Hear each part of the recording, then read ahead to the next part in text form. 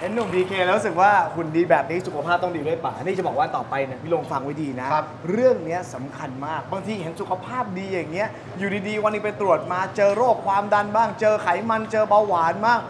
มีกูรูท่านหนึ่งที่จะแนะนำคุณผู้ชมชาว คุยเช้าโชว์ได้อย่างดีคนนี้ จัดรายการสุขภาพมานานกว่า 10 ปีแล้วละครับ มาพูดกับมาเพอเจอเขาเลยดีกว่อนจ้าจ๋าแล้วก็มาค่ะ เอมมี่ป๋ามาด้วยไหมเชิญเชิญเชิญมาเชิญพบกับพี่ลูกศรครับสวัสดีครับ สวัสดีค่ะ สวัสดีค่ะ สวัสดีค่ะ มามาค่ะป๋าป๋าป๋ามาดิมาเลยมาด้วยเลยพีพีเคอยากมาด้วยไหมมาครับมาพีเคมาด้วยเลยหลายๆคนอบอุ่นดีค่ะเฮ้คุณคือไปสัมภาษณ์ผมจะต้องไปดูไปดูฟาร์มผมอ่าป๋าป๋าป๋าป๋าป๋าป๋าป๋าพีพีเคพีเคไปด้วยกัสวัสดีขอบคุณครับขอบคุณครัสวัสดีครับ ใครจะไปคิดว่าโอ้สวยอย่างนี้เก่งขนาดนี้เนี่ยจริงๆแล้วเธอทำรายการเกี่ยวกับเรื่องของสุขภาพมาเป็น 10 ปีแล้วใช่ว่าค่ะนี่ทำมาเกือบ 20 ปีเกือบแล้ว20ปีเหรอปีโอ้โห ใช่ค่ะ คือปกติเนี่ยพี่เป็นคนเยอะอยู่แล้วเจ้าจ๋าจะรู้ว่าเจ้าจ๋าจะเจอพี่ลูกศรบ่อย ใช่แล้วก็เป๊ะมากทุกอย่างเลยแต่ทุกวันนี้เยอะหนักกว่าเดิมค่ะเจ้าจ๋า จริงเหรอ คือเยอะจนกลัวสามีจะลำคาญ อ๋อคืออย่างนี้คือเรื่องของเรื่องมาจากที่บอกเนี่ยนะคะ คือความที่เราทำรายการสุขภาพมาเยอะปุ๊บ เราก็จะเจอทั้งคุณหมอ เจอทั้งผู้รู้ผู้เชี่ยวชาญ แล้วก็ที่สำคัญคือเจอเคส ครับที่ป่วยหนักๆหลากหลายแบบมากค่ะ ๆ เราก็เริ่มกลัวเริ่มเพราะลูกสีตายไม่ได้ ป่วยไม่ได้ เพราะเรารู้สึกว่าเราต้องอยู่ยงคงกระพันนึกออกไหมคะเออคือคนอื่นมีลูกคนเดียวลูกสองคนก็รู้สึกแบบหนักใจแล้วใช่ไหมครัคะบเราก็รู้สึกว่าโอ้โหทำไมโรคภัยยุคนี้เนี่ยมันถึงน่ากลัวขนาดนี้เปรียบเทียบง่ายๆ ลองสังเกตดูทุกวันนี้เวลาเราเจอเพื่อนเก่าๆหรือเจอรุ่นพี่เวลาเราถามว่าเป็นยังไงสบายดีไหมคะ เกือบทุกคนตอบมาว่าอะไรไหมคะ อ๋อเป็นเบาหวาน อ๋อ จริงๆ ใช่ใช่ใช่ใช่อ๋อเป็นความดัน อ๋อ ไขมันอุดตันในหลอดเลือดเป็นวายคอเลสเตอรอลคือฟังแล้วแบบเป็นหวัดยังน้อยกว่าค่ะว่าไหมคะพี่ก็เลยรู้สึกว่าเอ๊ะเรื่องเหล่านี้เนี่ยอย่ามองว่าเป็นเรื่องปกตินะ อืมนี่คือโรคที่ไม่ปกตินะคะ และสามารถทำลายคุณภาพชีวิตคุณให้ชีวิตเปลี่ยนได้ อืม วันนี้อยากจะมาเตือนจริง ๆ และมีเคสหนึ่งนะคะคุณผู้ชมที่วันนี้มากับสอนด้วย ชีวิตของคุณป้าคนนี้เนี่ยเปลี่ยนเพราะการเป็นเบาหวานถึงขนาดที่ต้องตัดเนื้อเลาะเนื้อถึงกระดูกเลย แล้วก็โดนตัดนิ้วไปแล้วด้วย คนนี้ก็คือคนที่เป็นช่างทาสีที่บ้านพี่มดใช่ดำหรือเปล่าคะ ใช่แล้ววันนี้เนี่ยชวนมาด้วยเพื่อเป็นประสบการณ์และเป็นอุทาหรณ์จริง ๆนะคะ ว่าสิ่งนี้เกิดขึ้นกับคุณป้าได้ยังไงถึงเลวร้ายขนาดนั้นเดี๋ยวเชิญคุณป้าสุรินทร์กันเลยนะคะได้เลยครับเชิญเลยค่ะ ป้าสลินครับ อ๋อคุณสวัสดีป้าโอ้ป้าค่ะสวัสดีครับสวัสดีค่ะอะไรพี่ลูกศรอย่าโม้ดูแข็งแรงจะตายเชิญทางนู้นเลยครับ โอ้ นี่โดนตัดนิ้วก้อยที่เท้าไปแล้วค่ะ แต่วันนี้เดินได้ แต่เดี๋ยวให้คุณป้าเกริ่นก่อนว่าที่มาของการเป็นเบาหวานเกิดจากอะไรคะ อ๋อก็โดนที่ว่าเป็นแผลนี่นะคะ เป็นเป็นเบาหวานตั้งแต่พศ46ค่ะ ค่ะแล้วก็พอดีไปยกโต๊ะโต๊ะทับนิ้วก้อย แต่ว่าไปติดเชื้ออย่างค่ะ แรง ค่ะ ก็ปวดมากก็เลยส่งโรงพยาบาลไปพอเช้าขึ้นมาก็มาล้างล้างแผลเขาก็มาแกะ แล้วเป็นไงครับ นิ้วหายไปนิ้วเฮ้ยหนึ่งคือก็แผลมันไม่รู้ตัวไม่แห้งใช่ไหมคะค่ะแล้วนี่ก็เน่า คือที่หายไปเนี่ยเพราะคุณหมอตัดเหรอหมอคะล้อออกเพราะติดเชื้ออย่างแรงเลยก็ล้ออ๋อล้อหนังออกไปเหลือแต่กระดูกไว้โอ้โหแต่คุณป้าไม่ไม่รู้ไม่รู้สึกตัวตอนนั้น ไม่รู้ค่ะ ก็พอดีเน่าหมดเลยหลังเท้าพุเป็นเหมือนน้ำร้อนลวกค่ะก็โทษนะคะก็มานี่ถึงนี่เลยเนี่ยโอ้ถึงนี่เลยโหเห็นเลยถึงนี่คืเลอยอะจากนิ้วก้อยเนี่ยค่ะ มันลาหลัมงลามหลังเท้านี่หมดเลย ขึ้นหลังเท้านี่หมดเลย แต่ถ้าเขาบอกว่าถ้าเป็นโรคเบาหวานเนี่ยจับนิดเดียวก็จะก็จะเหมือนแบบ แผลมันไม่แห้งใช่ค่ะไหมมันคะลามมันเปียกตลอดเวลา แล้วก็คุณหมอบอกว่ายังไงคะสุดท้ายคือต้องตัดต้องะไรตัดคะต้องตัดครึ่ง ตัดขาหรือหมอตัดบอกว่าสุดท้ายต้องตัด ต้องตัดขาเลย คราวนี้พีเคลองนึกดูนะคะ คือคุณป้าบอกว่าคุณป้าสุรินทร์เนี่ยปกติชีวิตเนี่ยลำบากอยู่แล้ว ครับ เป็นช่างทาสีนะก็คะ ทำงานถ้าโดนตัดขา คุณป้าบอกเป็นจะตายไม่ยอมตัดเด็ดขาไม่ดตัดก็จะเหลืออาชีพอะไร คือเดินไม่ได้ชีวิตคุณป้าใช่น่าจะเป็นใช่ยังไงค่ะคะเดินไม่ได้หมอก็บอกว่าขับบอมดีนะสมัยนี้หมอไม่เอาอะทำใจไม่ได้ตอนนั้น คือแล้วป้ายอมป้ายอมตายดีกว่าตัดขาเหรอค่ะค่ะ จริงเหรอป้า อยากรู้แล้วว่า ทีนี้ครอบครัวก็จะให้จะให้เซ็นชื่อค่ะ ถ้าไม่เซ็นก็ตัดไม่ได้ ค่ะ อ๋อ แล้วก็ไม่เซ็นไม่เซ็น แล้วเดี๋ยวก่อน เพราะว่าจะจะกินยาตายแล้แล้ววนี่ตัดขา ป้า ไม่ได้ตัดไม่ตัด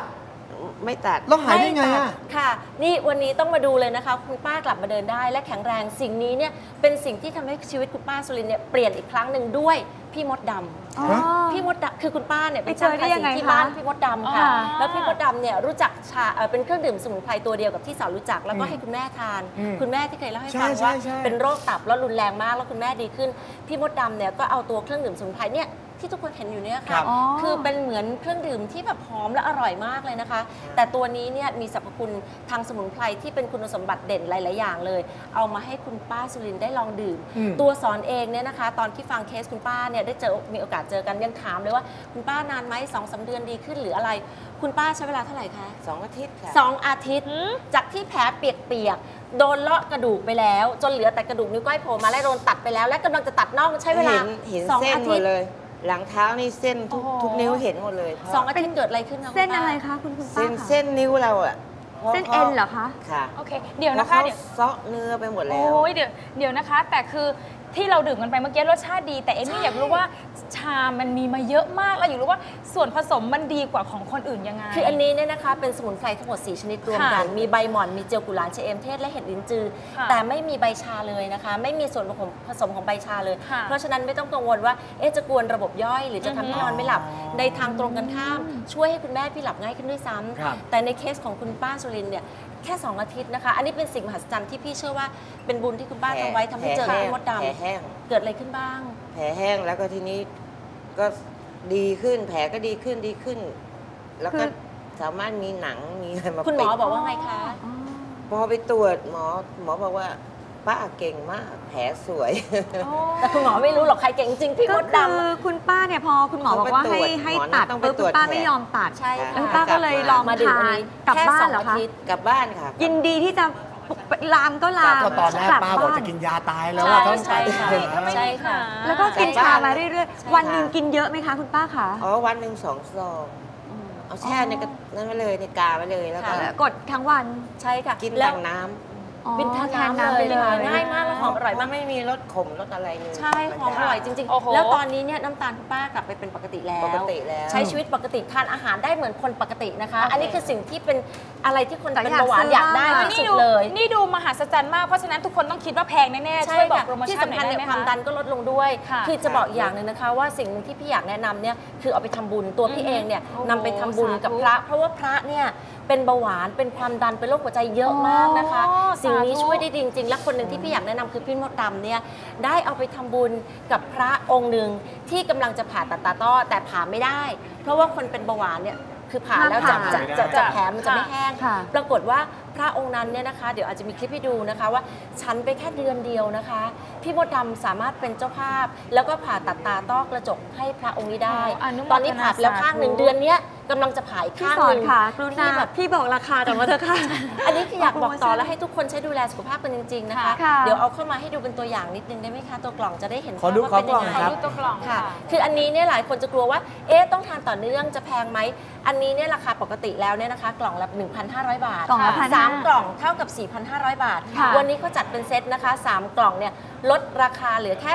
2,900ค่ะเท่ากับกล่องนึงไม่ถึงพันไม่ถึงพันคือค่ะเซตนี้ทั้งเซตเนี่ยพี่ยืนยันว่าถ้าใครที่เป็นเบาหวานเป็นความดันนะคะ หรือว่าเป็นพวกไขมันอุดตันเนี่ยเซตเดียวเนี่ยรู้เรื่องค่ะแล้วที่สำคัญเนี่ย59 สายแรกที่โทรเข้ามาวันนี้นะคะ ที่เบอร์ 02 126 3055 ได้ตัวนี้ด้วยอ๋อตัวนี้เป็นกระติกด้วยที่สะดวกมากค่ะ คือเราเอาไว้ชงแล้วเราติดตัวไว้เลยค่ะ ดื่มแทนน้ำเปล่าทั้งวันค่ะหอมอร่อยมากๆเลยนะคะคุณผู้ชมไปสามารถหาข้อมูลได้นะคะ ที่เว็บไซต์ tmixes.com หรือว่า line at wm shop นะคะ ซึ่งตรงนี้เนี่ยถ้าคุณผู้ชมโทรเข้าไปแล้วจะมีเจ้าหน้าที่คอยค่ะติดตาม แล้วก็สอบถามไม่ต้องกังวลว่าเอ๊ะจะดื่มยังไงให้ได้ผลเหมือนคุณป้าสุรินทร์ค่ะเขาจะมีเจ้าหน้าที่คอยแนะนำและบอกต่อว่าโอเคอาการของคุณเป็นยังไง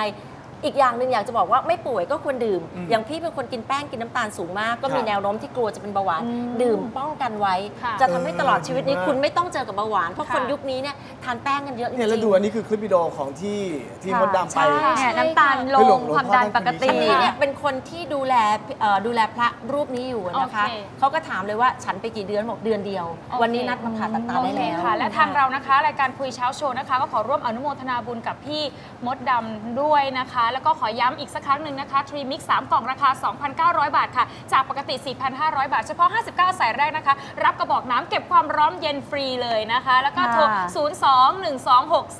02-126-3055 ค่ะ หรือแอดไลน์ WMSHOP ค่ะค่ะ ขอบคุณมากเลยนะครับขอบคุณมากเลยค่ะ คุณป้าอย่ากินยาตายนะคุณป้าแข็งแรงนะคะคุณป้าคะอันนั้นทำใจไม่ได้